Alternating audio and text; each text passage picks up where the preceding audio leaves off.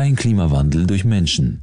Putin beim Arktisforum 2017. Immer mehr Menschen zweifeln daran, dass der Mensch allein für den Klimawandel verantwortlich sein soll.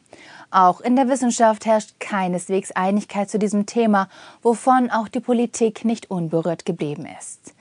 Selbst der Chef der US-Umweltbehörde EPA, Scott Pruitt, bezweifelt, ebenso wie US-Präsident Donald Trump, dass Industrie, Verkehr und andere menschliche Aktivitäten primär für die globale Klimaerwärmung verantwortlich sein sollen. Die nordrussische Stadt Archangels veranstaltete dazu 2017 ein Arktisforum. In einem offenen Diskurs über den aktuellen Forschungsstand nahm sogar Präsident Putin Stellung zum Klimawandel. Dazu schalten wir zu unserer russischen Korrespondentin nach Moskau. Auf dem Arktisforum in der nordrussischen Stadt Archangelsk äußerte sich Präsident Putin darüber, dass das Gletscherschmelzen bereits jahrzehntelang anhält. Die derzeitige Klimaerwärmung habe schon in den 30er Jahren des vergangenen Jahrhunderts begonnen. Den Klimawandel aufzuhalten sei seiner Ansicht nach daher unmöglich. Der Klimawandel habe mit globalen Zyklen auf der Erde zu tun. Es seien wiederkehrende Zyklen von Erwärmung und Abkühlung. Vielen Dank nach Moskau.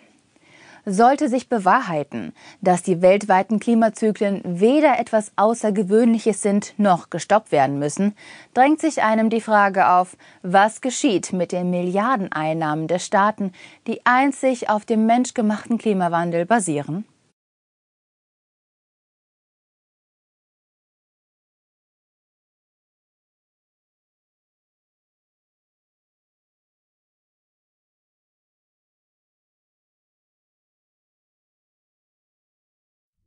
Und wenn alle anderen die von der Partei verbreiteten Lüge glaubten, wenn alle Aufzeichnungen gleich lauteten, dann ging die Lüge in die Geschichte ein und wurde Wahrheit. George Orwell 1984 1988 wurde der Weltklimarat IPCC von der UN ins Leben gerufen, mit dem klaren Auftrag zu beweisen, dass ein Klimawandel vorliege und dieser menschengemacht sei mit speziell geschriebenen Computerprogrammen sollte nachgewiesen werden, dass die Welt durch eine steigende Erderwärmung in einer Klimakatastrophe enden würde. Hauptverursacher sei das angeblich umweltschädliche CO2, wie von Politikern und Hauptmedien seit Jahrzehnten gebetsmühlenartig vermittelt wird. Eine Vielzahl namhafter Wissenschaftler weist Manipulationen in den Messungen und Auswertungen nach und sieht für den Klimawandel aber ganz andere Ursachen und Zusammenhänge Professor Dr. Werner Kirstein, ein erfahrener Klimatologe, ist eine dieser Gegenstimmen.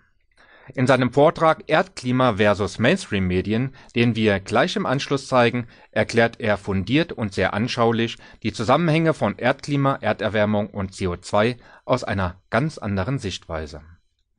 Die propagandamäßige Arbeitsweise der offensichtlich gleichgeschalteten Medien wird in diesem Vortrag ebenfalls beleuchtet Schauen Sie nun den Vortrag und bilden Sie sich Ihre eigene Meinung.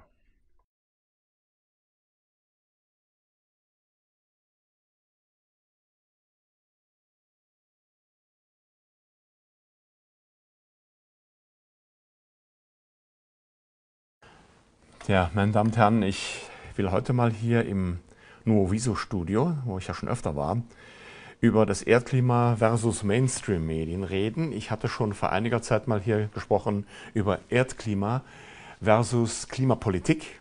Das ist ein ganz anderes Thema, aber wir werden gleich sehen, dass die Mainstream-Medien, wie die sich verhalten zum Thema Klima, Klimakatastrophe oder Klimawandel, wie auch immer. Und ich fange mal an mit einer Grafik, die ich selbst als Schüler schon und als Student natürlich auch gelernt habe über die natürlichen Klimazonen der Erde. Das ist heute immer noch so, da hat sich nichts daran geändert. Trotz angeblichen Klimawandels ist, sind diese Klimazonen immer noch da, so wie sie heute auf, auf dem Bild hier auch stehen.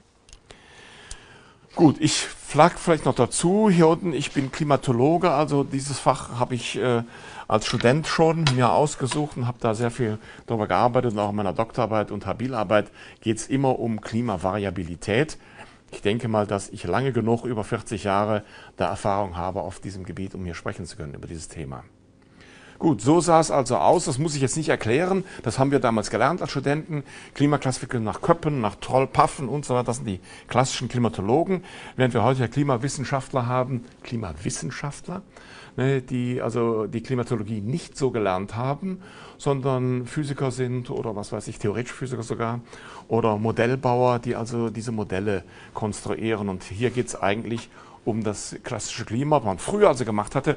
Von Hand wurde das alles, die Karten erstellt und gerechnet, die Mittelwerte, das ist ja alles ein Rechenprozess. Heute geht das mit dem Computer, aber rausgekommen ist, wenn man nicht in die Zukunft reinschaut mit den äh, Modellen, dann ist es eigentlich das Gleiche, so wie es jetzt ist. Aber was wird uns erzählt, wie das Klima aussehen könnte?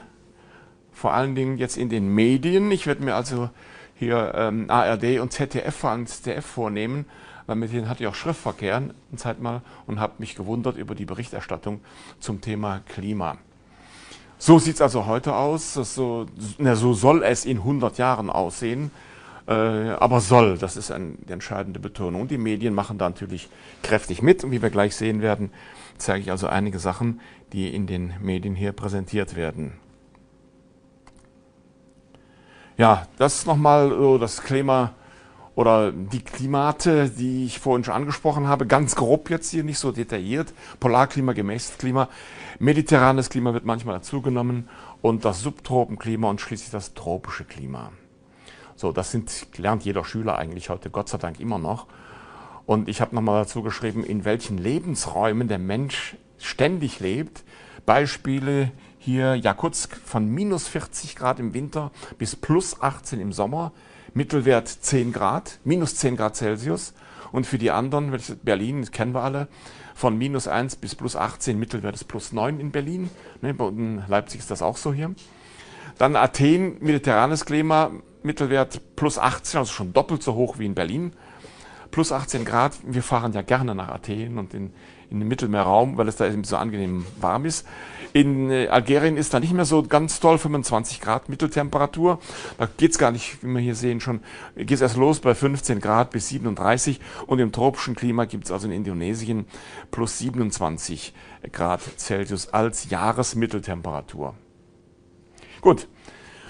Was äh, ein Faktum ist, ist, dass es in der Vergangenheit, ich gehe mal hier zurück bis 600.000 Jahre, schon sehr häufig Kaltzeiten, dann Warmzeiten, dann wieder Kaltzeiten, dann Warmzeiten, Kaltzeiten, Warmzeiten, Kaltzeiten und da sind wir heute in der aktuellen Warmzeit im sogenannten Holozän, also in der Nacheiszeit. Ich habe die mal hier gekennzeichnet mit Elber, Elste, Saale, Weichsel, so haben wir das damals gelernt. Heute wird es ein bisschen komplizierter, vor allen Dingen hier, die sind gut gesichert. Und hier ist es etwas komplizierter geworden.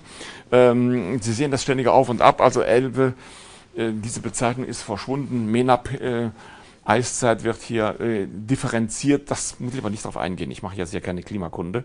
So, dazwischen immer Kaltzeiten. Und ähm, die großen Klimaschwankungen also während des Pleistozäns, der Eiszeit. Man sieht also, es ist fast regelmäßiger Wechsel, fast regelmäßiger Wechsel zwischen Warmzeit, Kaltzeit, Warmzeit, Kaltzeit. Dann gibt es hier noch so ein paar Warmzeiten, auf die gehe ich aber jetzt nicht ein, ich will es aber nicht unerwähnt lassen. Entscheidend ist jetzt Folgendes.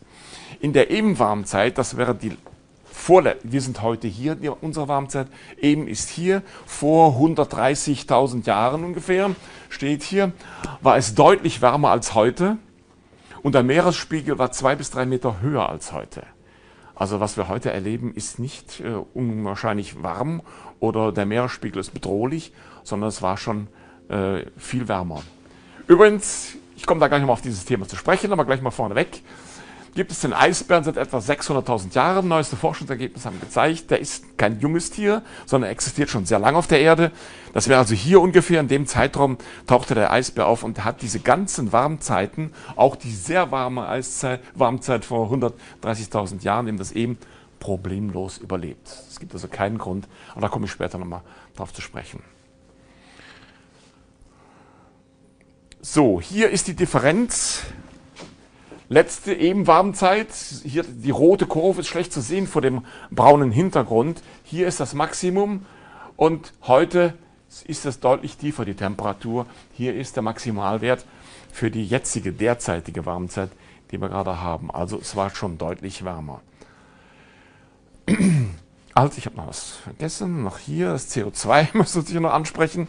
Das CO2, wie man sieht, geht immer mit. Es ist warm, CO2-Anteil ist hoch, es wird wieder kalt, er sinkt ab, es wird wieder warm, er steigt wieder, es in der Kaltzeit sinkt er wieder ab und so weiter. Es ist also ständig hin und her gegangen. Und das war einer der Punkte, wo man gesagt hat, ja, das ist der beste Beweis, dass das CO2 äh, verantwortlich ist für diese Temperaturschwankungen.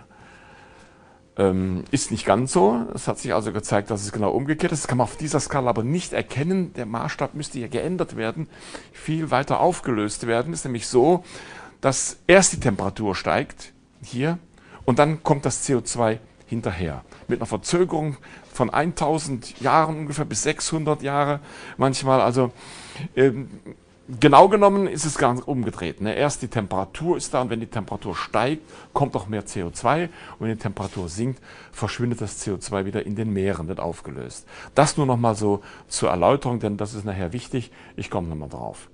Übrigens hat Al Gore in seinem Film eine unbequeme äh, Wahrheit, auch das auch als Argument gebracht, nein, das vorherige, und sagt, da sieht man es doch, ist doch ganz deutlich zu sehen, dass also hier noch das Klima und äh, also die Temperatur ähm, gesteuert wird vom CO2.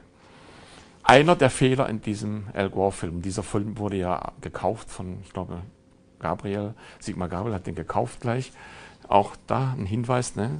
Klimawandel hat viel mit, mit Geld zu tun. Und das wird also in den Schulen erzählt. Wer aufpasst, wird dann aber dieses jetzt hier sehen und sagt, das hat gar nicht miteinander zu tun, es ist eher umgekehrt.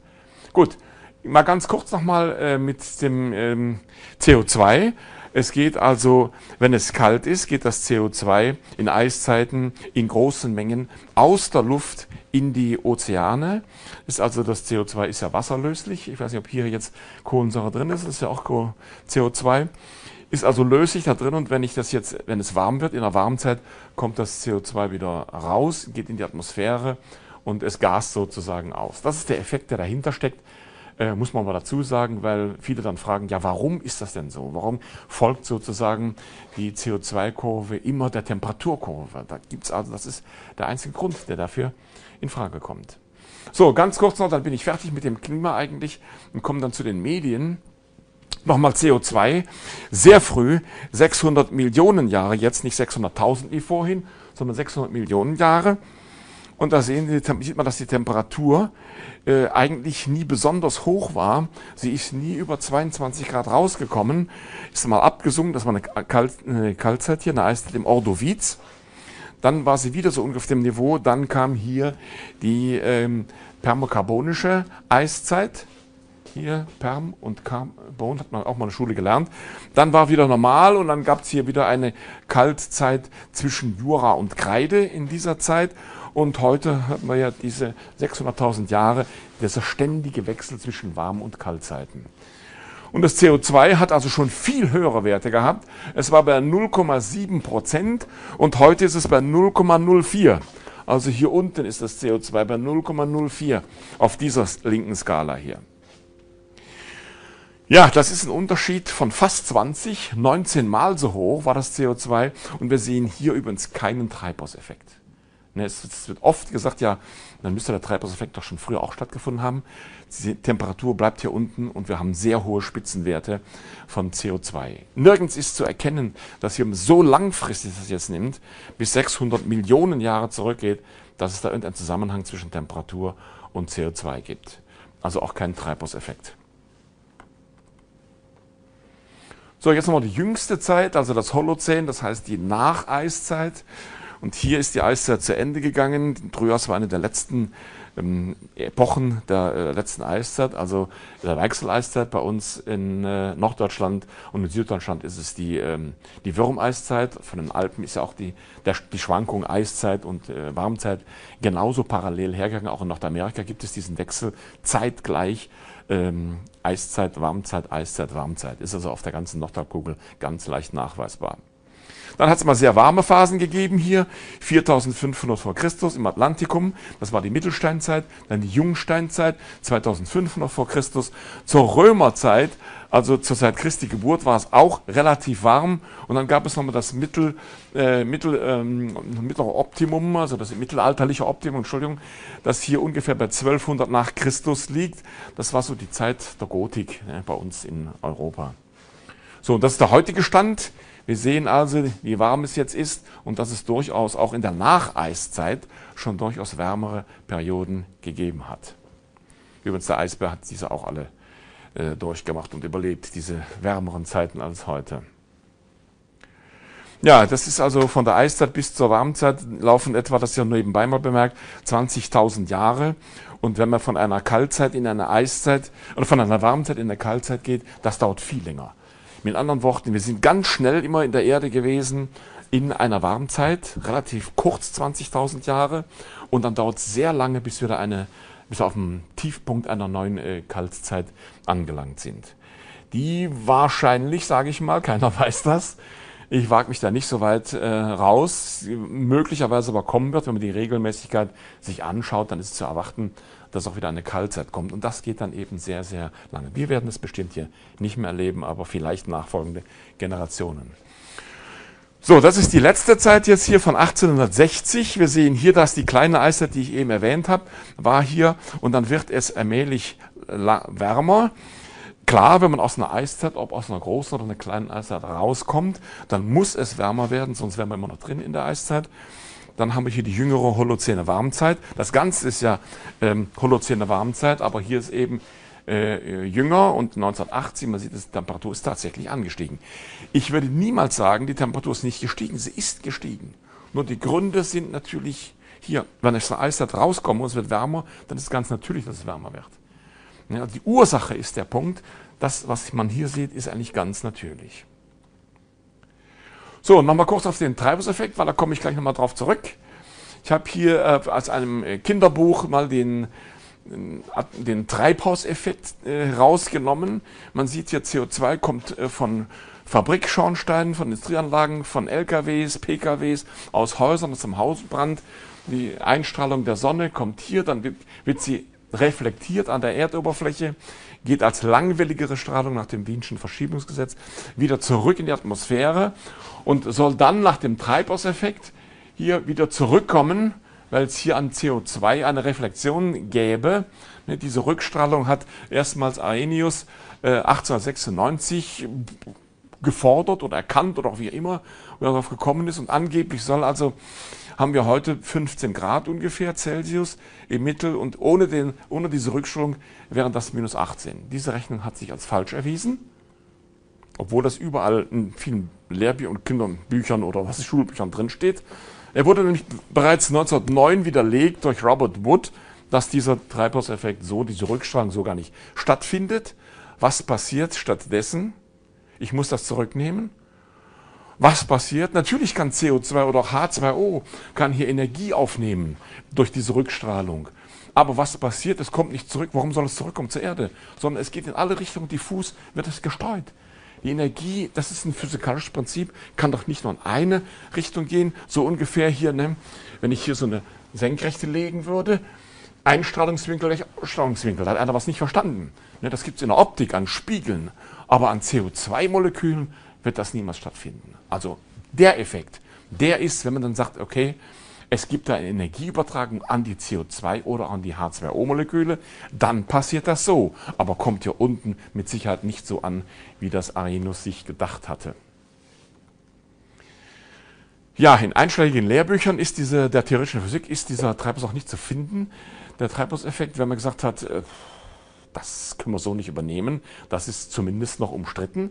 Aber es gibt inzwischen neuere ähm, Autoren, nicht Wood, das war ja schon sehr lange her. Es gibt jetzt äh, Tscheuschner und äh, Gerlich, die eine theoretische Arbeit abgeliefert haben. Und zwar mit dem Titel Die Falsifizierung des Treibhauseffektes. Falsifizierung. Das heißt, die widerlegen auf rein mathematischer, theoretischer Ebene, dass es diesen Treibhauseffekt, so wie er angenommen wurde, oder noch, viele nehmen es immer noch so an, dass der gar nicht existieren kann. Das geht aber zu weit hier, das kann ich jetzt hier nicht erläutern. Ich muss auch selber gestehen, das ist sehr kompliziert. Ich habe es einem Meteorologen mal gegeben, theoretischen Meteorologen, der hat dazu gar nicht Stellung genommen, der sagte, da sage ich jetzt nichts dazu, war für mich alles klar, was der jetzt gemeint hat, warum er dazu nicht sagt. Lehnt man sich zu weit aus dem Fenster, dann kann man irgendwie welche nachteiligen Karriereeffekte eventuell damit äh, erleben. So, jetzt äh, das wirkliche Treibhaus. Ich will nicht sagen, dass es einen Treibhauseffekt gar nicht gibt, sondern der findet statt in diesen äh, Gewächshäusern. Da hat man also hier oben ein Glasdach, damit eben das hier nicht passiert. Ne? Die Atmosphäre ist ja offen, da geht alles in alle Richtungen und hier sperre ich sozusagen die Wärme ein. Da geht also gar nichts mehr weg. Da kann man oben Fenster reinbauen und wenn es zu warm wird, dass man wieder die Wärme rauslassen kann. So, im Gewächshaus, das ist ein geschlossenes System, physikalisch gesprochen, geschlossenes System, hier offenes System, geschlossenes System. Ein Entweichen der sich erwärmenden Luft wird in den Glasflächen oder an den Glasflächen unterbrochen. Also im Glashaus wird die Temperatur geregelt durch Öffnen und Schließen von Fenstern. Das ist auch natürlich äh, gut regelbar. Wenn hier kann der Mensch ja gar nichts machen und es, es kommt ja auch nichts zurück. So, jetzt gehe ich nochmal auf den Bedarf von CO2-Pflanzen ein, von, äh, von Pflanzen, die das CO2 brauchen. Der normale Gehalt, CO2-Gehalt, liegt bei knapp unter 0,04 Prozent. Das hatte ich schon mal erwähnt. Und dieser Wert stellt für viele Pflanzen keine optimale Konzentration für die Photosynthese dar, sondern als für die Pflanzen optimale Werte werden CO2-Konzentrationen von 0,06, also mehr als wir heute haben, bis hin zu 0,16 Prozent CO2 in der Fachliteratur angegeben. Heißt mit anderen Worten, wenn wir den CO2-Gehalt hier von 0,04 Prozent steigen ließen, was ja unterdrückt wird von der Politik und durch alle möglichen Maßnahmen, und kämen hier beim vierfachen Wert an, dann hätten wir den optimalen Wert für die Pflanzen zumindest erreicht. Und für den Menschen ist das nicht schädlich, dann müsste schon die CO2-Konzentration im 5%-Bereich liegen. Das tut sie aber bei weitem nicht. So, Gemüsepflanzen übrigens verlangen tendenziell etwas höhere Werte als Zierpflanzen. Das heißt also hier, die Gemüsepflanzen, die können hier mit den 0,16% gut umgehen. Ich habe dann mal, muss ich mal kurz zurück, ich habe bei einer Islandreise ein Treibhaus besucht, da wurden Tomaten gezüchtet, Tomaten auf Island, das ist ja mal was anderes. Ne? Und, und sah am Eingang so einen großen Tank, ungefähr so einen 5000 Liter Tank oder 3000 Liter Tank, weiß nicht, da stand groß CO2 drauf. Da habe ich dann gefragt, was macht er mit dem CO2? Ich wusste natürlich, was die da machen. Mal gefragt, dachte, das leiten wir gasförmig hier ein in das Treibhaus. Und ich sage, wie hoch ist denn die Konzentration? Und da sagt er 0,9. Entschuldigung, 0,09. 0,09 Prozent. Das heißt, die haben etwas mehr als verdoppelt. Das haben wir in der freien Atmosphäre natürlich nicht. Und der Effekt ist ein Düngungseffekt. Und der macht das aus gutem Grund, haben gute Erfahrungen damit gemacht. Unter diesem erhöhten, mehr als verdoppelten CO2-Gehalt wachsen die Tomaten viel besser. Ich weiß nicht, ob sie besser schmecken, ich habe es mal versucht, aber sie reifen zumindest schneller und die Ausbeute ist größer, also der Gewinn ist größer. Trotz des ähm, äh, des CO2s, das die ja kaufen müssen eigentlich und da eingeben. So, warum ist das so? Das zeigt diese Kurve. Es gibt C4-Pflanzen äh, und C3-Pflanzen. Hier ist der Wert 0,04, also der atmosphärische Normalwert. Und das wäre die Verdopplung. Und oft wird ja gesagt, wenn sich der CO2-Wert verdoppeln würde, dann hätten wir eben die Klimakatastrophe. Ne, ist gar nicht der Fall. Im Gegenteil, die C4-Pflanzen, die ignorieren das und die C3-Pflanzen, die würden davon sehr profitieren, was ich ja vorhin schon sagte. Was sind jetzt C3-Pflanzen? Hier erstmal mit drei ähm, Kohlenstoffatomen äh, in der Strukturformel. Getreide, Raps, Zuckerrübe, Kartoffel, Reis und vor allem die tropischen Waldbäume. Da komme ich gleich mal drauf zu sprechen. So, die C3-Pflanzen, also die rote Kurve, das ist Mais, Zuckerrohr, Hirse, Amaranth und die tropischen Savannengräser. Also die Savanne wäre so, kann nicht davon profitieren, die bleibt wie sie ist, aber der tropische Regenwald, der kann von höheren CO2-Werten tatsächlich profitieren. Ja, hier C4-Pflanzen, 1, 2, 3, 4 Kohlenstoffatome, deswegen heißen die so. So, Verdopplung des CO2-Gehalts. In vielen Gewächshäusern, das habe ich eigentlich schon gesagt, wird die Luft mit CO2 angereichert, um den starken Düngungseffekt ähm, zu nutzen, eben von 600 bis 1600 ppm.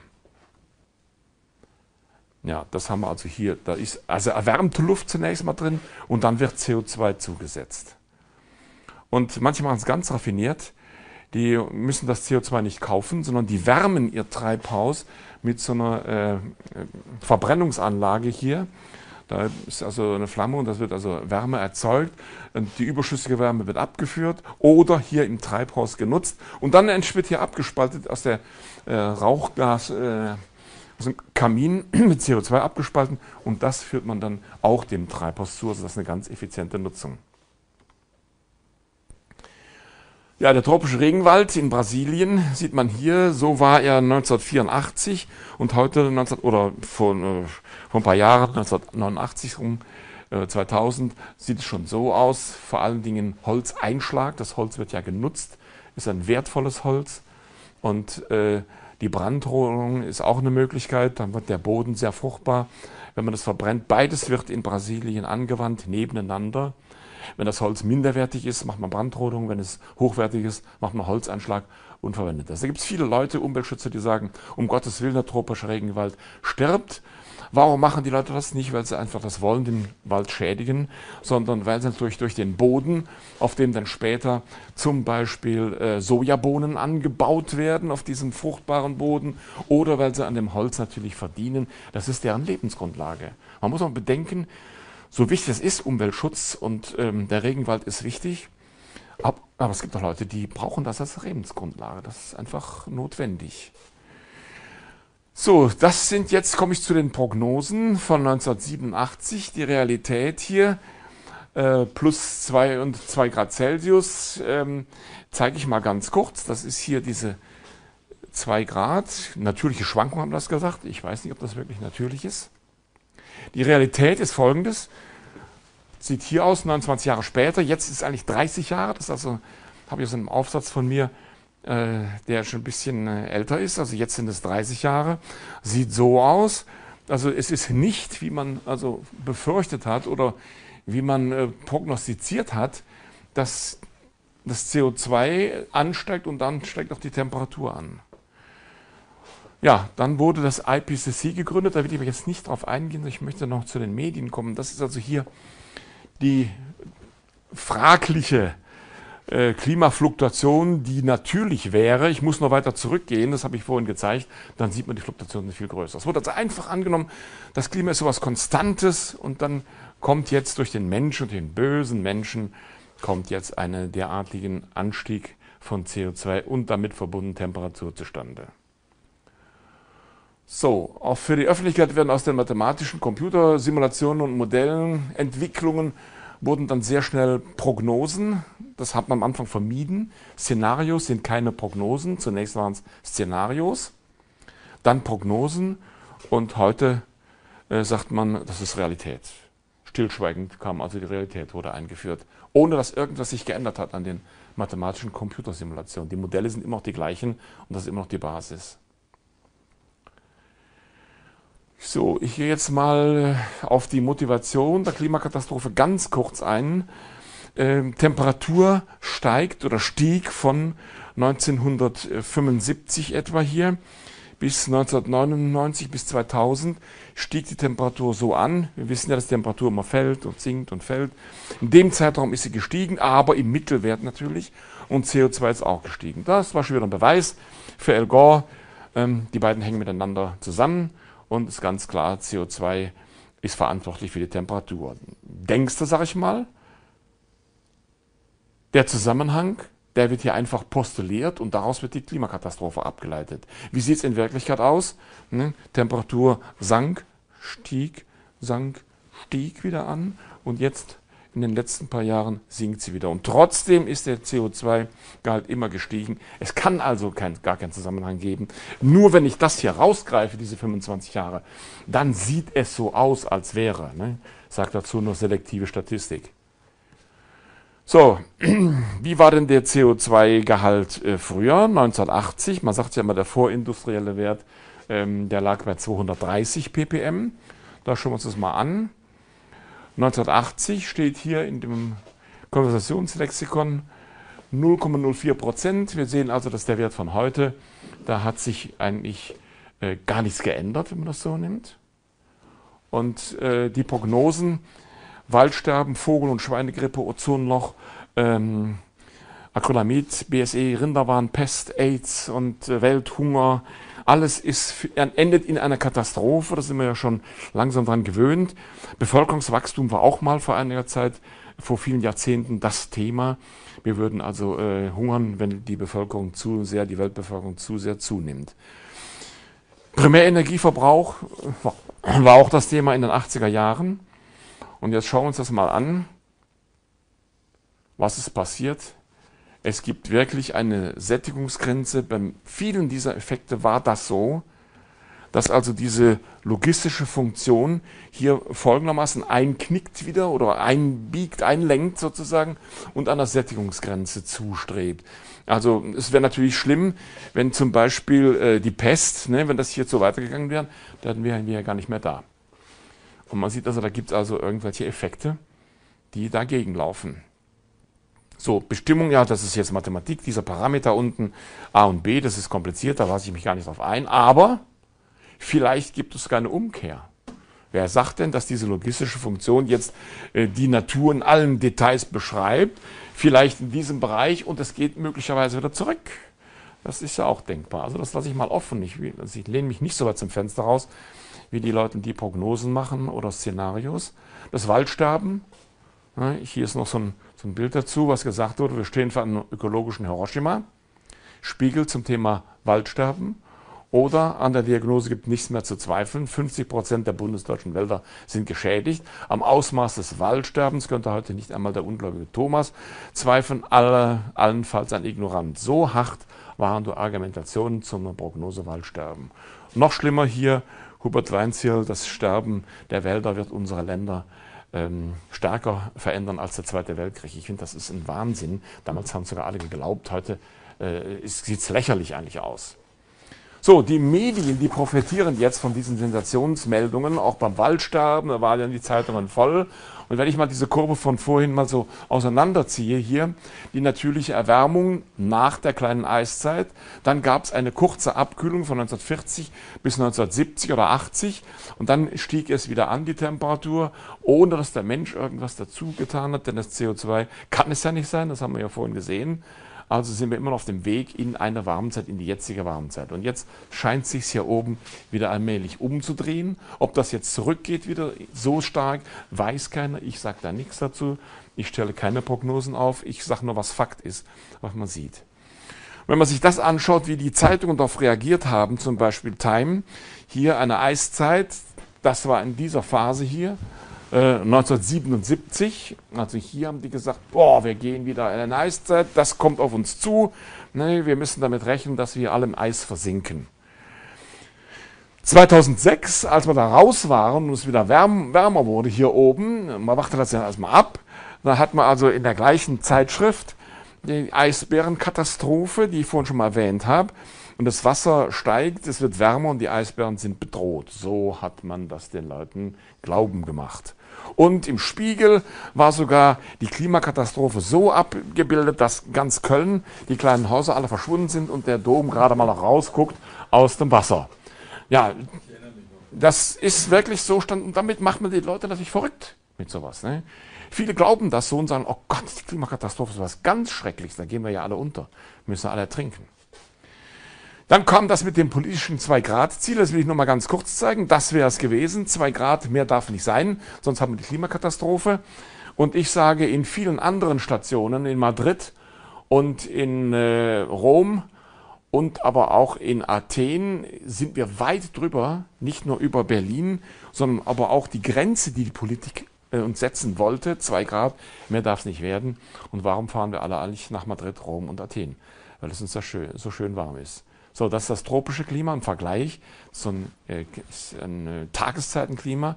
Über die Jahreszeiten ändert sich nicht viel. Wesentlich höher auch da leben Menschen. So, die Erde ist also hat kein Fieber, wie oft behauptet wurde, sondern wir gehen mal weiter. Was sagt das IPCC, der Weltklimarat? In der Klimaforschung modellieren sollten wir erkennen, dass es sich um ein gekoppeltes, nicht lineares, chaotisches System handelt. Mit anderen Worten, deshalb sind äh, längerfristige Vorhersagen über das Klima oder die Klimaentwicklung gar nicht möglich, sagt der Weltklimarat. Hat nur kaum jemand gelesen, weil es in der ausführlichen Fassung stand. Da ist es, kann man nachlesen im IPCC Third, Third Assessment Report von 2001, Section 14 2.2.2 auf Seite ähm, 774. War aber den Journalisten nicht bekannt und der Politik nicht. Es gab nicht eine Kurzfassung, da stand das nicht drin. Also es ist eine schöne Irreführung. Das ZDF und der endgültige Verlust der Glaubwürdigkeit. Jetzt komme ich wieder zurück zu den Medien. Was sagen die zu diesem Thema? Und da ist schön, wenn Sie sich Folgendes mal anschauen könnten. Den Film, der steht so im Original im Internet, das ZDF und der endgültige Verlust der Glaubwürdigkeit. Hier Frau Gerster in der Heute-Sendung vom 18.12.2009. Ja, das ist ein Standpunkt, den die Klimawissenschaft schon lange sagt, es würde um 6 Grad ansteigen, die Welttemperatur 2100 bis 2100. Das wäre natürlich wirklich nicht schön, aber Katastrophe sicherlich auch nicht. Und dann zeigt sie weiter in diesem Film, dass hier, ähm, wo der, die Wüste Sahara, die Sahelzone hier, und da ist eigentlich der tropische Regenwald, den haben sie einfach weggenommen. Das könnte also passieren, dass der tropische Regenwald verschwindet. Da sage ich nicht aufgepasst in der Schule. Ne? Tropischer Regenwald entsteht dadurch, weil es da sehr viele Niederschläge gibt, sehr viele Niederschläge, die höchsten in der Welt. An einigen Stellen gibt es nur ganz wenigen Stellen gibt es mehr.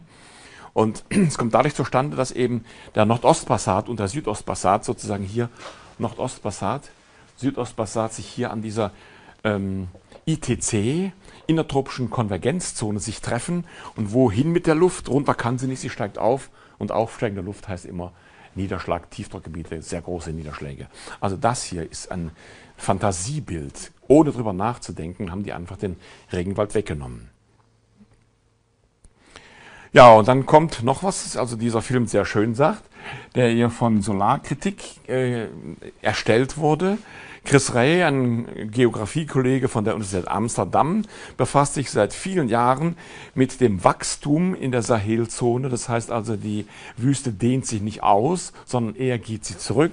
Es kommen wieder kleine Bäume, Sträucher. Also mit anderen Worten, kurzer Schlagwort, die Wüste grünt. Ne? Der Wüste ist übertrieben, aber diese Sahelzone, da fängt es an und da entstehen wieder Bäume. Ich habe noch damals von einigen Lehrern äh, gelernt oder lernen müssen, das Stichwort Desertifikation, heißt also, die Wüsten dehnen sich aus, wird immer schlimmer, immer trockener. Natürlich gibt es mal so eine Katastrophe, eine, eine Trockenperiode. Dann wird es aber wieder äh, sich rumdrehen oder hat sich rumgedreht. Inzwischen weiß man dank ähm, Professor Ray, dass die Sahelzone äh, kommt und langsam wieder grün wird. Von wegen, es wird schon gar nicht mehr der tropische Regenwald, also gar keine Spur davon. Das kennen Sie alle auch. Das sind Bilder, die uns im ZDF heute Journal gezeigt werden. Da steht der Herr Kleber vor diesem Bild. Ich habe das auch dem ZDF geschrieben, dass sie sich erdreisten, sowas äh, zu machen und spricht dann vom CO2-Eintrag in die Atmosphäre sagt aber nicht, wie Sie sehen, hinter mir, es überlässt dem Zuschauer. Das finde ich wirklich ganz schlimm, dass der Zuschauer selber auf den, den Gedankenschluss jetzt ziehen muss, aha, CO2, oh Gott, das ist ja schlimm. Und das bleibt einfach so stehen und den Schluss muss man natürlich ziehen, wenn man nicht weiß, was wirklich mit dem CO2 los ist. Dass es nämlich ein unsichtbares Gas ist, geruchlos, ungiftig, im Gegensatz CO, das ist giftig, aber nicht CO2. CO2 ist auch im Mineralwasser, nehmen wir, atmen wir aus, überall vorhanden. Und das ist absolut klimaneutrales, das habe ich ja vorhin versucht an Beispielen zu zeigen. Es ist im Gegenteil ein lebenswichtiges Gas für Flora und Fauna, insbesondere für das Nachwachsen des tropischen Regenwaldes. Und deswegen habe ich es vorhin so gebracht, ausführlich, der tropische Regenwald profitiert davon, vom CO2. Und wenn wir das vervierfachen würden, den CO2-Gehalt, dann könnten auch wieder der ähm, Regenwald wieder nachwachsen, könnte also wieder, wenn er gefällt wurde, die Bäume verschwunden sind, gäbe es eine Chance, dass diese, der Regenwald wieder nachwachsen kann, vorausgesetzt, man erhöht den CO2-Gehalt und versucht ihn nicht zu stabilisieren oder gar runterzudrücken. Wenn ich dann denke, dass es Projekte gegeben hat in Deutschland, wo man unter die Erde verpressen wollte, das CO2, ich, ich rede am besten gar nicht, das ist also ganz schlimm. Klaus Kleber gehört übrigens zu den Spitzenverdienern des, äh, des ZDFs. Einen ZDF-Journalisten. Über seine Höhe des Honorars macht er keine Angaben. Ich weiß jedenfalls, dass ein Vertrag geändert wurde, damit man ihm ein höheres, außertarifliches Honorar zahlen kann. Aber Sie können es im Internet gerne mal schauen, das ist mal an. Das, da findet man manche Zahlen, ich sage das hier nicht. Einige Politiker meinen jetzt, wer ständig Transparenz bei den Politikern fordere, der müsse auch sich selber transparent machen. Ne, Wäre eigentlich eine Forderung, die äh, rechtens ist, aber da wird geschwiegen an der Stelle. So, so dann nochmal zur Klimakatastrophe. Die drohende Klimakatastrophe, das ist Mojib Latif. Ne, der hat also, äh, ich will jetzt nicht alles im Einzelnen, das würde viel zu lange dauern. Klimaschutz ist kein Umweltschutz. Ne, das Klima kann man auch gar nicht schützen. Wie soll man es schützen, wenn es ein Rechenmodell ist? So, und das Schönste, was er sagte im Jahre 2000, meinte Mojib Latif vom Geomar in Kiel im Spiegel, war übrigens der 1. April, Winter mit starkem Frost und viel Schnee wie noch vor 20 Jahren wird es in unseren Breiten nicht mehr geben. Wir wissen alle, dass das nicht stimmt. Ich zeige mal ganz kurz ein Bild, was dann 2012, 2013 passiert ist im Allgäu. Nicht überall, aber wir hatten Meter hoch teilweise in Deutschland Schnee wird es nie mehr geben. Ne? Ganz schöne Blamage eigentlich für ihn. Auch 2013 hier im Allgäu ein Meter, ein Meter Schnee. So, die Temperaturen der letzten 28 Jahre in Deutschland. Man sieht die Temperatur, das ist typisch für die Temperatur, ist ein ewiges Auf und Ab. Und wie soll man da irgendeine Prognose, irgendwas sagen dazu? Ist doch ganz schwierig. Man kann aber mit Mathematik rangehen, eine Regressionsgerade errechnen, und dann sehen Sie, die Daten sind immer vom Deutschen Wetterdienst. Ne, und dann kriegt man also immer oberhalb und unterhalb, das mittelt sich irgendwie so raus. Ich weiß auch nicht, ob das eine ideale Form ist, aber wie soll das eine Aussage machen? Wie will ich eine Tendenz erkennen aus diesem Gezickezacke? Da kann ich also nur noch eine Regressionsgerade hernehmen und sehen, dass die fällt. Die sinkt also. Ja, statt äh, wärmer wurde es im Mittel etwa ein Grad kälter das Landklima, also in Stadt im Landklima sogar noch kälter, zwei Grad kälter geworden. Das wäre eigentlich zu erwarten nach dem Klimawandel oder Klimakatastrophe. Das haben die Modelle vorausgesagt. So sollte es oder wäre es gekommen, wenn man denen geglaubt hätte. Es geht eigentlich eigentlich andersrum. So, diese Widersprüche werden sogar erklärt. Die kalten und zum Teil sehr schneereichen Winter der vergangenen Jahre sind ein Zeichen der Erderwärmung. Das ist total pervers. Ne? Wie kann denn ähm, ein schneereicher Winter ein Zeichen äh, der Erderwärmung sein? Aber was wird man anders machen? Wenn man sich darauf festgelegt hat, ne, der Klimawandel ist überall gegenwärtig, dann muss man halt zu solchen verrückten Aussagen kommen. Ja, aber kein Modell hat das wirklich gezeigt, sondern es hat man hinterher einfach versucht, sich da rauszureden oder irgendwie eine Erklärung zu finden. Aber die Modelle haben das eben nicht vorgesehen. So erst im Nachhinein jetzt, wie gesagt, ne, kommt man da drauf, dass äh, man einen Erklärungsversuch herbeiziehen muss, sich aus den Fingernägeln saugen muss. Und ähm, ja, Klimadefinition. Äh, ganz kurz mache ich das nur. Was ist überhaupt Klima? Ich sage mal eine Zusammenfassung regionaler Wetterereignisse Mittelwerte, Standardabweichung, Korrelation. Und dann ich, kann ich mal kurz diese Grafik noch zeigen. Das sind einzelne ähm, Wertig Wetterereignisse, wenn Sie wollen, Tiefdruck- und Hochdruckgebiete und Extremwetterereignisse. Und die äh, werden nun zum Klima benutzt, indem man diese Rohdaten, die in dem Rechner sammelt, Mittelwert, Standardabweichung und so weiter. Und letztlich habe ich dann eine große Menge von Daten, und die stecken dann in Rechnern und sind nicht auf der Erdoberfläche, sondern nur die Daten gehen darauf. Und was passiert jetzt mit den Extremwerten? Das Klima ist also ein virtuelles globales Klima, das in Rechnern steckt. Das steht da unten nochmal.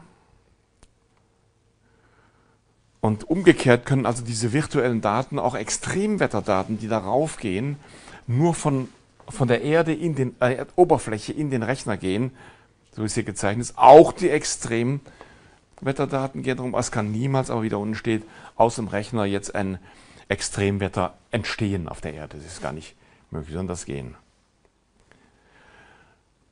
Jetzt gehe ich wieder mal zu den äh, Medien, Spiegel Online. Äh, vor kurzem, mal gar nicht so lange her, das ist relativ aktuell, glaube ich, diese Grafik, von März 2016. Da äh, sieht man äh, das Auf und Ab äh, der Temperaturanomalien, also was da, äh, wie, sich, wie stark sie sich bewegt. Und dann stand hier drüber, Klima Nordhalbkugel überschreitet die 2-Grad-Schwelle. Also die 2 Grad, diese Alarmschwelle von 2 Grad wäre überschritten. Ich sehe davon hier nichts. Außerdem ist das eine Sache des Klimas. Und wenn ich eine Skala habe von 2015 bis 2016 hier, äh, das sind also hier eins, Moment mal, eins, das sind fünfeinhalb Jahre insgesamt. 2015, 2016, da wäre jetzt äh, der März. Also ein relativ kurzer Zeitraum. Äh, in dem kann man also überhaupt keine Klimaaussage machen in so einem kurzen Zeitraum. Was ich machen kann über ein paar Monate oder ein paar Jahre hinweg, ist eine Aussage zur Witterung und zum Wetter. Aber wenn ich solche kurzen Zeiträume nehme, ich brauche ja nicht 30 Jahre mindestens, um eine Klimaaussage zu machen, dann ist es also ein Hohn von ähm, Klima zu sprechen. Das ist allerdings Wetterereignisse. Und dass das Wetter mal über zwei Grad, äh, über die zwei Grad Schwelle geht, das haben wir auch vorher schon gewusst. Das brauchen wir also nicht ähm, zu erklären.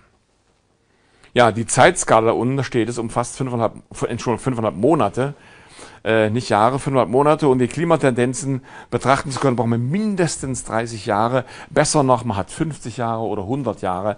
Umso sicherer wird eine Klimaaussage, so länger der Zeitraum ist. Also hier nach diesen fünfeinhalb Monaten ist es einfach äh, ein Witz.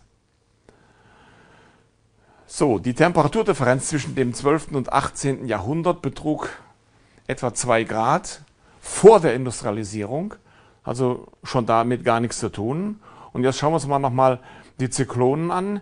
Die Kategorie 3, 185 Kilometer pro Stunde hier in Vanuatu.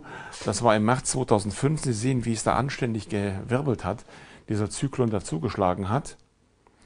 Und wenn man sich diese Zyklonen mal hier anschaut, wie haben die sich verhalten? Von 1970 an bis 2012 geht diese Statistik. dann sieht man also hier, es gibt eine Kategorie 1 und 2, das sind die schwarzen Balken, und eine Kategorie 3, 4, 5, das sind die ganz starken tropischen Zyklonen, die also richtig heftig sind. Ja, wenn wir jetzt mal schauen, haben die zugenommen, wie ja viele sagen, haben diese Katastrophen zugenommen. Diese, dann sieht man eigentlich nur, äh, eigentlich im Gegenteil. Ne? Ich, einen Anstieg kann ich beim besten Willen nicht erkennen. Es bleibt in etwa. Manchmal phasenweise geht es zurück, dann steigt es wieder, dann geht es wieder zurück. Und ich schaue mir die Roten an. Ja, die haben vielleicht hier ein bisschen heftiger, sind heftiger geworden oder häufiger geworden. Aber im Grunde ist das doch alles, sag ich mal, geht das doch unter. Da kann man doch keine Steigung, ganz klare Steigung daraus erkennen. Jedenfalls keine statistisch signifikante Steigerung der tropischen Wirbelschwelle in den letzten 40 Jahren. So ähnlich ist das jetzt hier, wenn man sich mal anschaut, ähm, die Hurricanes. Keine statistisch signifikante globale Zunahme von Hurricanes in den letzten 40 Jahren. Sieht man auch, das geht auf und ab, mal mehr, mal weniger. Und auch hier äh, die rote Kurve vielleicht hier noch zugenommen. Dann wird es aber wieder richtig wenig. Also das ist eigentlich wie die Temperatur. Ein ständiges Auf und Ab. Ja, was wird uns erzählt? Die Klimawissenschaft verschweigt äh, unseriöse Methoden, äh, die äh, ja in die Öffentlichkeit nicht überall, nicht überall gegangen sind, aber zumindest äh, sind sie sehr ähm, grenzwertig und auch zum Teil falsch und auch gar nicht äh, mehr oder weniger im Bereich von Betrug schon gehen. Ich kann dazu nur empfehlen, mal sich reinzuschauen hier, dass im Internet mein Aufsatz Die Klimakatastrophe von 1986 und was daraus wurde. Da habe ich eine ganze Menge dieser Betrugsversuche äh, mal äh, aufgelistet oder auf, aufgezählt. Und ich möchte aber hier jetzt die Zeit damit nicht vertun. So, Messungen der Klimamodelle, die CO2-Konzentration nimmt zu und wie ich schon sagte, die Regressionsgerade ist negativ, die Temperatur nimmt eher ab, wenn man hier von 1990 oder 1998 ausgeht. Das wäre es gewesen, so ähnlich habe ich schon mal gezeigt, wenn es die Prognosen gestimmt hätten. Auch die Winter in Deutschland zeigen ein ähnliches Bild. Immer wieder mal strengere Winter, weniger strenge Winter. Im Grunde aber auch hier die Regressionsgerade fallend. Und der, nach dem Klimawandel oder nach den Modellen hätte es eigentlich steigen müssen. So, jetzt gehe ich mal auf eine Sendung des ZDF ein, die ich selbst zufällig gesehen habe im März 2009. Und zwar sagt das ZDF in diesem Beitrag, wahrscheinlich haben die extra da Journalisten hingeschickt, auf die Karolineninseln, hier sehr weit im Pazifischen Ozean abgelegen, der Meeresspiegel würde steigen. Das haben sie sogar gezeigt. Die haben den, einen der äh, maßgebenden Leute aus der Politik dort äh, gefragt und sagte, ja, es ist angestiegen, der Meeresspiegel. So, in Wirklichkeit aber, da habe ich mal recherchiert, selber recherchiert, wenn es das ZDF schon nicht macht, in Wirklichkeit ist zwischen den kleinen Karolinen und der großen Pazifikplatte longitudinale und vertikale Bewegungen von Platten. Deswegen habe ich hier die plattentektonische Karte genommen. Man sieht, die Erde ist aufgeteilt in große und kleine Platten, die sich natürlich bewegen. Die bewegen sich so gegeneinander, also longitudinal, aber auch vertikal bewegen sich etwas diese Platten. Das ist ein ständiger Prozess und der ganze Vulkanismus ist darauf zurückzuführen, den wir ja auch hier haben, auf diese Plattenbewegungen. Aber ich weiß jetzt nicht, und jetzt habe ich jetzt mal hier das mal genauer gezeigt, habe mir eine ganz genaue aus der Region, tektonische Karte in Mikronesien. Und habe ich mal dieses Bildchen dazu. Auf der Karolinenplatte sind die Karolineninseln, wie der Name schon sagt. Und die Pazifikplatte ist daneben, da sind auch noch ein paar Inseln, aber hier sind vor allen Dingen die meisten Karolineninseln. Und wenn diese Platte sich dem roten Pfeil nach senkt, nicht senkt, so senkrecht, sondern die gehen so schräg, schiebt sich das so unter drunter, senkt sich ab und hier steht einer drauf, dann geht er mit der Platte natürlich runter und denkt, der Meeresspiegel steigt an. Zu dem Eindruck muss er ja kommen, wenn er nichts weiß, was sind die Ursache für dieses Absenken. Das wusste also, wussten die Leute doch nicht. Ich denke aber, das ZDF hätte das wissen müssen. Wenn man so, oh, sorgfältig recherchiert, hätte man, wäre man draufgekommen, hier im ZDF der Meeresspiegel steigt. Das ist eine Behauptung, die also richtig falsch ist. Ich, man könnte sagen, mutwillig, ich weiß es aber nicht, vorsichtig, vielleicht sind es noch ganz miserable Recherchen. Halte ich aber für eher unwahrscheinlich. Ich glaube, dass da schon, schon Absicht dahinter steckt. Ein anderes Thema wäre in den Medien, wäre der Eisbär ne, der angeblich ausstirbt. Dieses Foto würde übrigens, was durch die ganze Welt gegangen ist, wurde 2010 vom äh, James Dellingpole entlarvt als Fälschung. Also auch solchen Mittel äh, schreckt man nicht zurück, dass man einfach äh, falsche Bilder konstruiert und sie dann veröffentlicht durch die Weltpresse gehen lässt. Die Behauptung, dass die Eisbären durch Klimawandel bedroht seien, ist falsch, sage ich. Das stimmt einfach nicht, obwohl es Al Gore äh, ja nicht obwohl, sondern der hat natürlich davon profitiert, wenn er das behauptet. In Wahrheit ist die Eisbärenpopulation von 5000, circa 5000 in den letzten 40 Jahren wieder auf 25.000 gestiegen. Warum? Weil die Jagd eingeschränkt wurde. Es wurde verboten, Eisbären zu schießen. Das machen immer noch einige illegal. Sie schießen die Eisbären und für ein Eisbärenfell zahlen übrigens die Sammler bis zu 10.000 Dollar. Es lohnt sich also, Eisbären zu schießen, legal oder illegal. Jetzt wäre es illegal. Übrigens, das Schlimme daran ist, dass wir in Deutschland äh, Importland Nummer 1 sind oder Nummer 1 oder 2. Bei uns werden diese Eisbärenfälle gerne gekauft. Es ist schlimm, kein Umweltschützer sagt da was bis jetzt jedenfalls. Und es gibt noch ein ganz anderes Problem, eine steigende Gefahr. Die Eisbären leiden an Umweltgiften. PCB-haltiges Plankton wird von Fischen gefressen, die Fische werden von Seehunden verspeist und die Seehunde sind die Beutetiere der Eisbären. Das ist eine ganz andere Bedrohung, die dann noch kommt. Aber die ist so klein noch, Gott sei Dank, dass trotzdem die Zahl hier noch gestiegen ist. Wenn das schlimmer wird, gibt es wirklich eine Bedrohung für die Eisbären, aber dann ist es auf einer ganz anderen Ebene, nicht durch den Klimawandel, sondern oder, oder ähnliches. Eisbären haben schon viel Wärmerperioden, das hatte ich vorhin schon mal gesagt, überlebt. Zum Beispiel 4500 vor Christus, habe ich vorhin gezeigt, das ist die Mittelsteinzeit, oder 2500 vor Christus, das wäre die Jungsteinzeit, oder eben 1200 nach Christus, das wäre eben diese Phase des, ähm, äh, der Gotik, wie wir das in, in, Europa nennen. So, darüber hinaus sind auch die Warmzeiten ähm, so gewesen, viel wärmer als heute und auch das hat der Eisbär überlebt. Natürlich war das ein riesen Gag mit dem Knut. Ich gönne dem Berliner Zoo ja diese riesigen Einnahmen, aber es fundierte mal auf Fehlinformationen, auf Unwahrheit. Ich kann jedem empfehlen, nur das Buch zu lesen. Uwe Timm gegen das Geschäft mit dem Klimawandel 2013 auf Seite 39 und 40 finden Sie entsprechende Ausführungen. Und das Geschäft mit dem Klimawandel interessiert mich noch an einem anderen Titel, das Geschäft mit, ähm, mit der Impfung. Naja, das will ich aber hier nicht darauf eingehen. Es gibt sehr viele Geschäfte, die äh, so gemacht werden und auf falschen äh, Aussagen beruhen. Nächstes Thema wäre der Schwund des Antarktiseises. Greenpeace hat gesagt, wo das Klima kippt, hat dann hier den Wilkins Schelfeis, das Wilkins Schelfeis genommen, gesagt, hier kippt das Klima, es wird also da warm und schmilzender Eisschelfe, behauptet zunächst mal. Und der Spiegel, Spiegel Online, vom 10.04.2012, seit 2002 hat der Larsen B-Eisschelf, das ist auch hier in der Nähe, das war vorhin hier, Larsen B-Eisschelf, drei Viertel der Eisfläche verloren. Diese Karte stand aber nicht im Spiegel, sondern der Satz, drei Viertel der Eisfläche verloren gegangen auf der Antarktis. Glaubt natürlich jeder sofort, um Gottes Willen, drei Viertel der Eisfläche, das wäre ja katastrophal. Nein, das gilt nur für diesen Bereich, weil da oben so eine warme Meeresströmung ist, die von Südamerika, von Patagonien, das ist ja nicht weit davon entfernt, darüber schwappt sozusagen und hier unterspült die äh, Eisschelfe. Hier ist mal dargestellt, ne, wie hier das ähm, Schelfeis sich ausdehnt und das langsam zerbricht, zerbröckelt. Und das ist der feste Boden, der feste Erde unter der Antarktis. Da haben wir richtig fest, massiv, es ist ja Gestein. Und jetzt kommt hier so ein Warmwelle ähm, rein, Strömung und geht hier zurück und fängt an, das dünne Eis hier erst dünner zu machen und wenn es dünn genug ist, zerbricht es. Das ist der Effekt, der hier an dieser kleinen Region weniger als ein Prozent der gesamten Antarktis äh, vonstatten geht.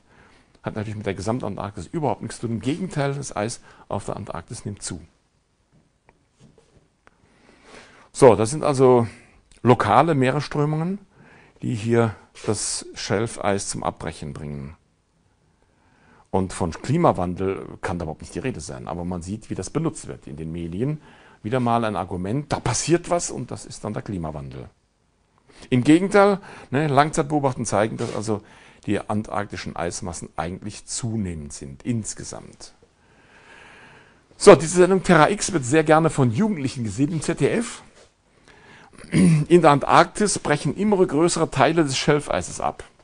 Haben das voll aufgegriffen auch da kommt man zu dem Schluss, wenn man Terra X sieht, Donnerwetter, die Antarktis ist in Gefahr, ganz zu verschwinden. Klimawandel, äh, der Klimawandel und die Pole, so heißt also dieser Beitrag in Terra X. Ja, was ist das eigentlich? Das ist eine Klimawandelwärmung in Dokumentarfilmen. Ich wusste gar nicht, dass in Dokumentarfilmen auch solche Werbungen eingeschoben werden. Nichts anderes ist es nämlich. So, der vielbeschworene Klimawandel kommt nicht, er ist in vollem Gange. Steht da auch, wenn man das nachliest im Internet, so wortwörtlich ähm, da drin. Er kommt nicht, sondern ist bereits im vollen Gange. Ja, ich sehe nur keine Anzeichen oder man sieht keine Anzeichen dafür. Und nochmal Terra X.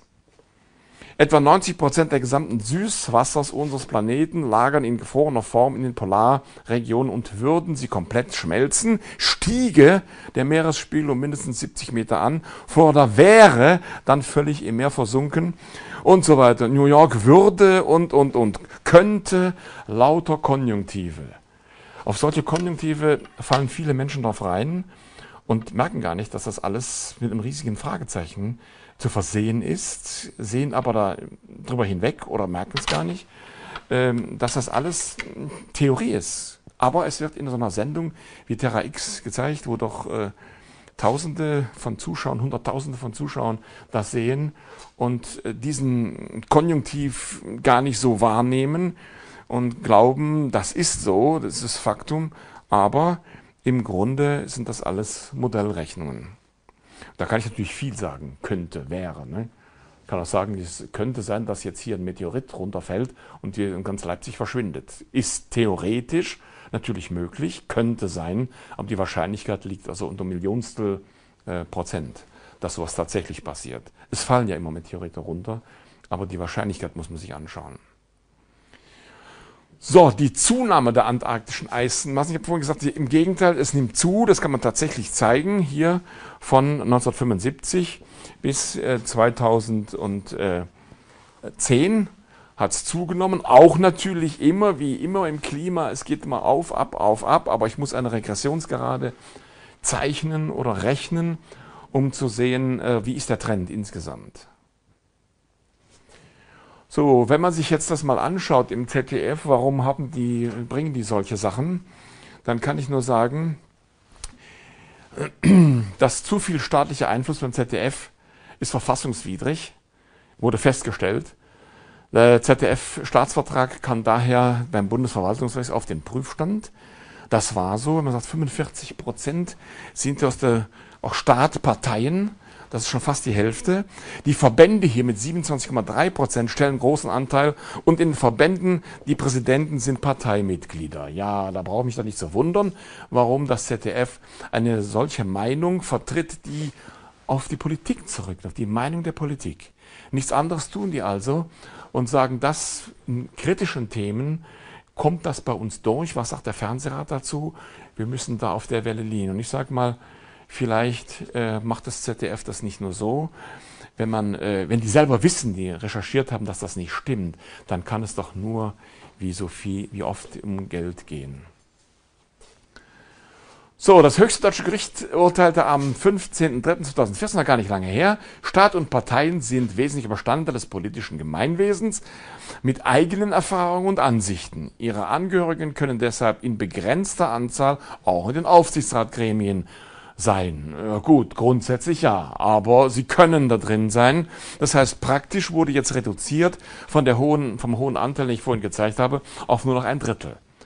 Wenn ich aber mal diese Präsidenten der Verbände sehe, dann äh, weiß ich nicht, ob das jetzt wirklich dem ZDF geholfen hat, die ähm, politischen Einfluss zu senken, denn der ist immer noch relativ groß. Übrigens, 100 Prozent der Verfassungsrichter werden vom Bundestag und Bundesrat bestellt. Die beiden großen Parteien, SPD und Union, teilen sich regelmäßig das Vorschlagsrecht. Das heißt, selbst von diesem Verfassungsgericht, das ist wieder politisch zusammengesetzt. Also da gehe ich doch im Kreis rum, wenn ich mir das mal anschaue. Ja, ähm, noch so ein kleiner Hinweis, auch das vielleicht interessant für die Zuschauer jetzt mal sich anzusehen. Äh, www.gewaltenteilung.de über die Unabhängig Just Unabhängigkeit unserer Justiz. Dann werden Sie sich wundern, das haben viele noch nicht gewusst. Ich fasse es in einem Satz zusammen. Der Justizapparat untersteht der Regierung. So sieht es aus. Und das können Sie gerne hier nachlesen, wie viel Gewaltenteilung. Das ist hier so ein Ausschnitt daraus, gehe ich aber jetzt nicht drauf ein. Gewaltenteilung, Realität. Ne? Parlament, Regierungschef, Minister, Richter unterstehen also dem Minister.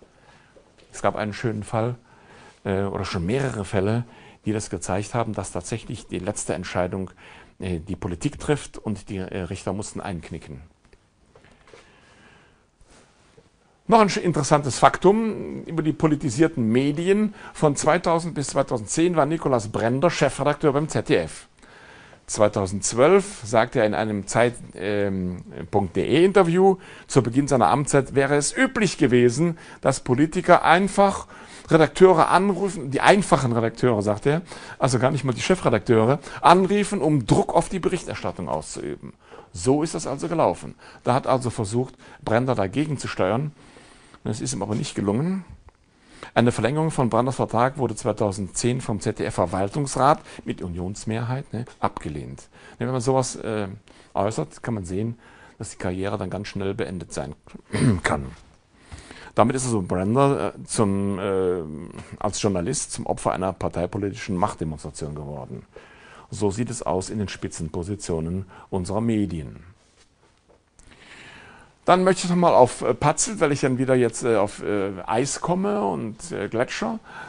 Der Kollege aus, von der Universität Innsbruck hat mal gezeigt, dass es stimmt, dass die Gletscher abgenommen haben hier ist es richtig und die Temperatur zu, die Gletscher sind zurückgegangen. Das ist Faktum. Bestreitet er nicht, bestreite ich auch nicht, ist so. Aber was war davor? Da haben die Gletscher zugenommen, wieder abgenommen, zugenommen, abgenommen, zugenommen. Auch da haben wir ständig diesen Effekt. Äh, Zunahme, Abnahme, Zunahme, Abnahme, wie bei der Temperatur, beim Eis immer das Gleiche. Nur äh, propagiert in den Medien wurde das ja seit 1986, Beginn der Klimakatastrophe, das da abgenommen hat. Was davor war, wird natürlich nicht veröffentlicht. Ne, entsprechend natürlich auch die Temperatur. Wenn die Temperatur zu und abnimmt weltweit, reagieren die Gletscher darauf, ganz klar. So, in den letzten äh, 11.000 Jahren, sagt Patzelt, waren die Gletscher während zwei Drittel dieser Zeit kleiner als heute, woraus auf wärmere äh, Klima, äh, klimatische Verhältnisse geschlossen werden kann. Es war also schon wärmer und dann waren auch die Gletscher weiter unten und wenn es kälter wird, nehmen die Gletscher wieder zu. Also das Wechselspiel zwischen Gletscherwachstum und Gletscherrückzug hat es also schon mehrfach vor der Klimakatastrophe gegeben. Nichts Neues, was da benutzt wird eigentlich. Ja, wem nutzt das Ganze? Warum wird das betrieben? Weil der Klimaschutz sich herausgestellt hat, mit Klimaschutz kann man richtig die Wirtschaft in Gang bringen, kann man Geld mitverdienen, Ankurbelung der Konjunktur, Innovation durch CO2-Minderungstechnologien.